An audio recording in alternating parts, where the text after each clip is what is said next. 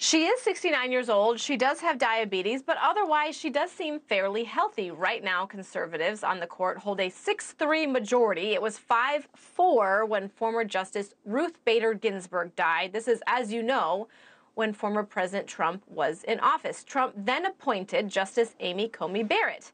It widened the conservative lead. So it's a lesson that Democrats seem to be keen on preventing.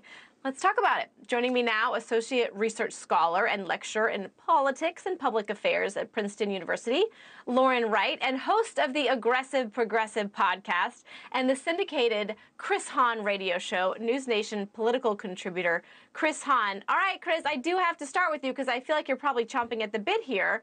Are you getting suspicious with all of these headlines? She is only 69 years old, and I feel like these are apples to oranges. We were talking about a super majority scenario back then. This is different, is it not?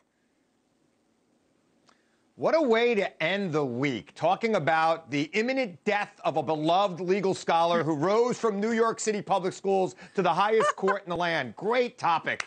I'm so glad you brought me in for this. Uh, look, uh, I am not concerned about Joe Biden winning, but the Senate map, as I'm sure Dr. Lauren Wright will tell you, is a very difficult one for Democrats. They're going to lose West Virginia, and then they've got a tough race in Ohio, a tough race in Montana, and several other difficult races around the country that they need to win to hold the United States Senate. And if they don't hold the United States Senate, the chances of getting judges confirmed become very iffy. But that said, I wish her a long life. I hope she stays on the court for another 20 years. Uh, she's a great New Yorker, and I'm very proud of her.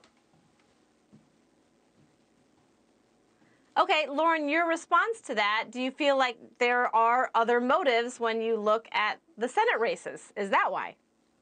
Well, gosh, I think you've stumbled on something that Chris and I might actually agree on, Liz. 69 is not 82. It's definitely not 87, which is what Justice Ginsburg's was when she died.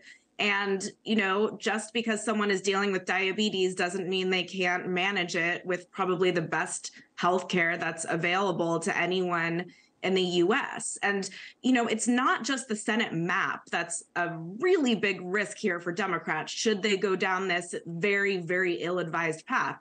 It's the Senate hearing of another proposed justice where Republicans get to ask on national television What's the definition of a woman? What's DEI? Should students be able to call for the genocide of Jews? These are all questions Democrats should not want to give Republicans an opportunity to answer, not even to mention the fact that Supreme justices are not perfectly predictable.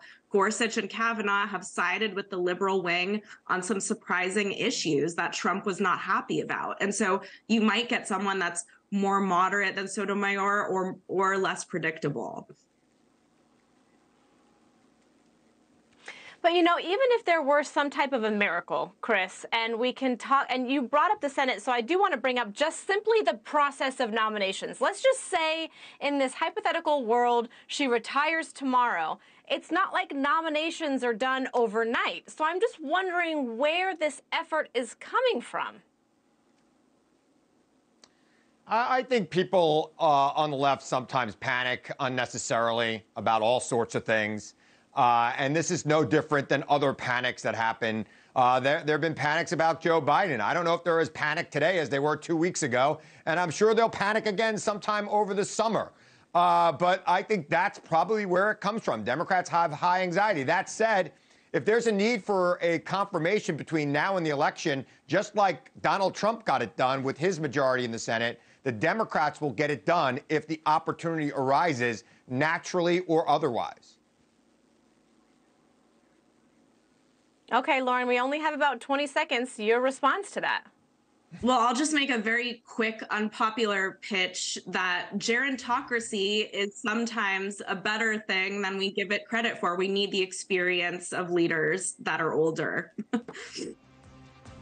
I agree. Thanks for watching. Go to joinnn.com to find News Nation on your television provider.